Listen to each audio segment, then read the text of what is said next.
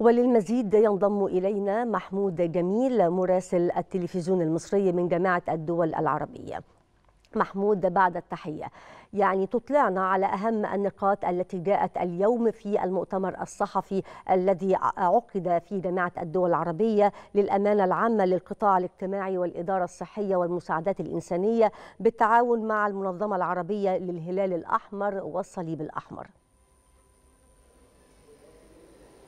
نعم إلهام تحياتي لك ولكل السادة المشاهدين. مؤتمر هام اليوم عقد بمقر جامعة الدول العربية من قبل الأمانة العامة القطاع الاجتماعي والإدارة الصحية والمساعدات الإنسانية للحديث عن الأوضاع الإنسانية في الدول العربية لا سيما المملكة المغربية ودولة ليبيا الشقيقة. وكان المؤتمر بحضور السفيرة هيفاء أبو غزالة الأمين العام المساعد لجامعة الدول العربية ورئيس القطاع الاجتماعي وأيضا السيد صالح بن حمد التوجري الأمين العام للمنظمة العربية للهلال الأحمر والصليب الأحمر. في البداية قدم خالص التعازي لضحايا الزلزال في المغرب وأيضا الإعصار في ليبيا. والتمني بالشفاء العاجل للمصابين. وأكدت السفيره هيفاء أبو غزالة على متابعة الامانه العامة والأمين العام لجامعة الدول العربية هذه الأوضاع الإنسانية في المملكة المغربية وأيضا في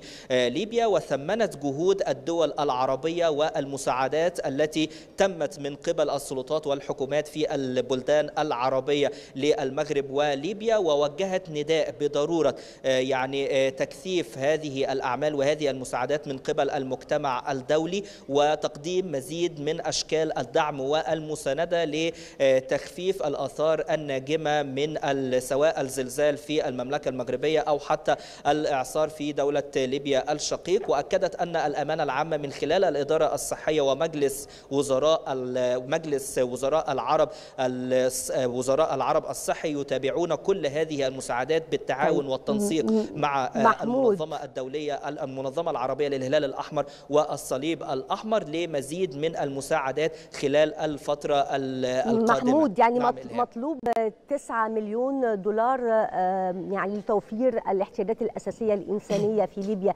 هل من خطة واضحة لإيصال هذا المبلغ وتوفير هذا المبلغ لليبيا؟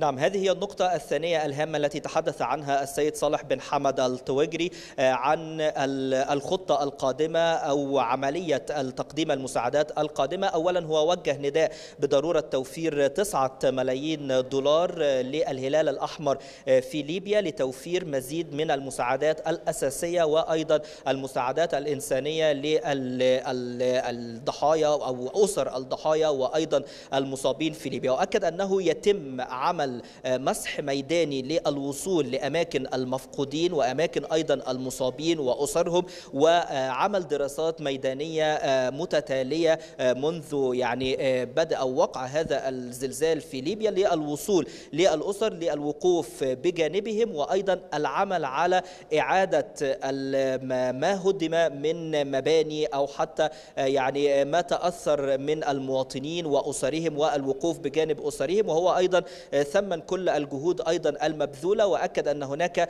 يعني جهد كبير يتم من جمعية الهلال الأحمر في البلدين سواء في المغرب أو في ليبيا. وأيضا بعد جمع هذا المبلغ أو وجوده لتقديم كل المساعدات سيكون هناك أيضا دراسات أخرى وبحث ميداني آخر للوصول إلى مزيد من المفقودين أو حتى المصابين وأسرهم لإعادة كل هذا الإعمار في ليبيا الشقيقة. وأيضا تحدث أو أشاد بالجهود المصرية التي تتم وأيضا يعني جهود القوات المسلحة وتصريحات الرئيس عبد الفتاح السيسي أمس فيما يتعلق بتكثيف الجهود وتقديم مزيد من المساعدات الإنسانية والإغاثية للشعب الليبي. وأكد أنه كان في زيارة لمقر الهلال الأحمر المصري بالأمس واطلع على حجم كبير من المساعدات المجهزة التي سيتم إرسالها إلى دولة ليبيا الشقيقة. وهو أيضا يعني قال بأن هذا ليس بجديد وليس بغريب على مصر في الوقوف